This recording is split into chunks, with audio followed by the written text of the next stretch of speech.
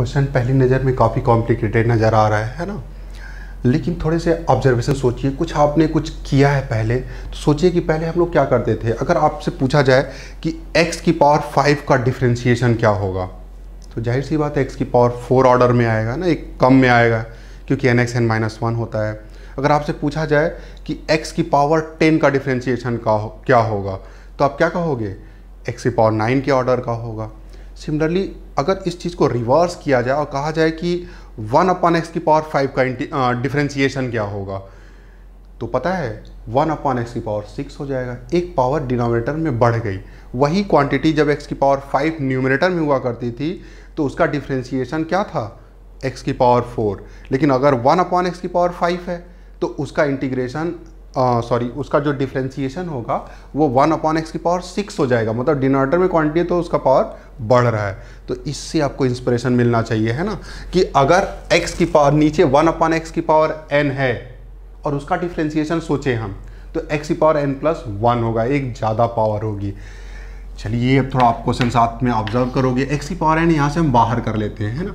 तो क्या हो जाएगा? एक्स इंटू एक्स की पावर एन यहाँ कॉमन करने का मतलब होता है कि जितने जितने टर्म से कॉमन कर रहे हैं आप, वो सब डिवाइड होंगे। जो चीज़ आपने कॉमन किया है उस चीज़ से। तो एक्स की पावर एन से डिवाइड हो गए डी एक्स ये क्या हो गया? सेम क्वांटिटी है डिवीज़न वन हो गया इसका। अब ये आ गया। अब देखिए यहाँ पे क्या हो गया? सेम बेस है पावर ऐड हो जाएगी। तो आप ये लिख सकते हो एक्स की पावर एन प्लस वन और हम इसी की बात कर रहे थे कि अगर आप वन अपॉन एक्स की पावर एन का डिफ्रेंसिएशन सोच रहे हैं तो वो वन अपॉन एक्स की पावर एन प्लस वन आएगा। इसका मतलब थोड़ा और रीअरेंज करके लिख दें तो it could be written as a one upon x की power n plus one d x over one plus one by x की पावर एन ठीक है? अगर आप इसको एफ़ सोचते हो दैट मीन्स यहाँ रफ हम ऑफ़ वर्क कर दे रहे हैं, ये आपका ऑब्जर्वेशन है कि अगर आप d by d x of क्या सोचते हो? One plus one by x की पावर n तो ये वन का ज़ीरो हो जाएगा और इसका क्या हो जाएगा? Plus d by d x of one by x की पावर n का मतलब एक्स की पावर माइनस एन और ये कितना आने वाला है? That comes out to be minus n x की power minus n minus one मतलब डिनोमिनेटर में लिखेंगे इसे तो x की पावर n प्लस वन।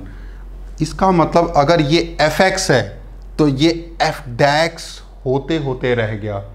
क्या एडजस्ट करना पड़ेगा? There is a constant minus n minus n अगर आप मल्टीप्लाई कर लो यहाँ पे, और यहाँ पे डिवाइड कर लो माइनस एन तो ये आपका एफ़ एक्स है।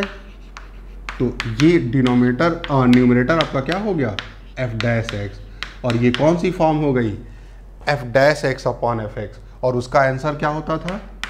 ये तो बाहर रहेगा ही log of mod f x मतलब one plus one by x की power n plus indefinite constant C ठीक है?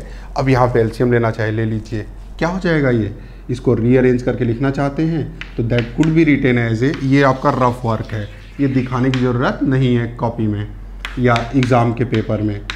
लॉग ऑफ़ एक्स की power n plus one over x की power n plus C that is your final answer